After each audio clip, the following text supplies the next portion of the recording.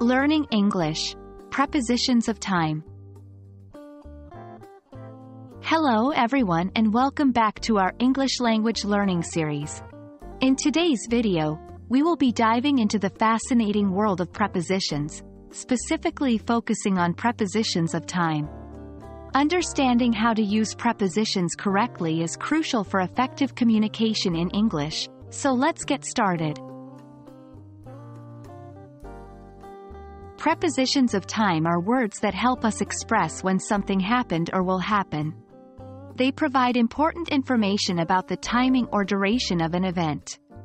These prepositions play a vital role in constructing accurate and meaningful sentences. Let's take a look at some common prepositions of time and how to use them correctly.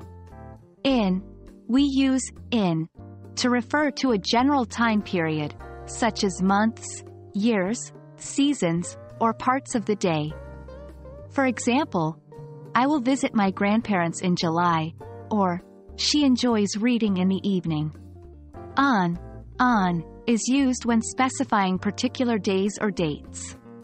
For instance, we have a meeting on Monday, or his birthday is on the 10th of June.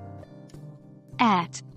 We use at to indicate specific points in time, including clock times or specific moments. For example, let's meet at 3 o'clock, or, she arrived at the party just in time.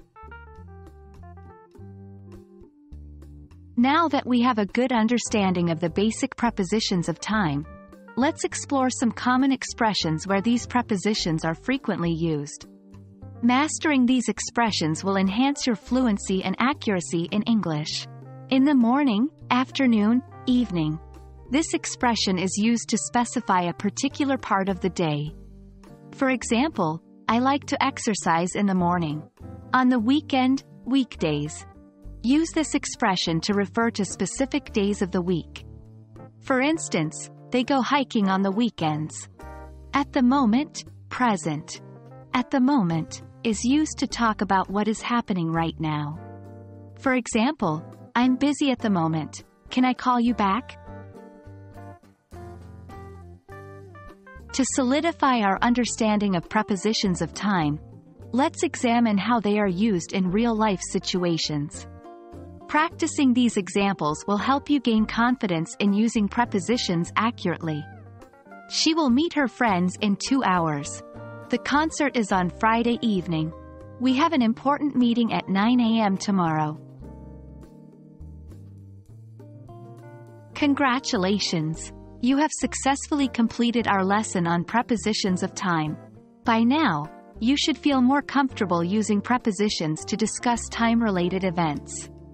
Keep practicing and incorporating these prepositions into your everyday English conversations. Thank you for watching, and we hope this video has been helpful to you. See you next time.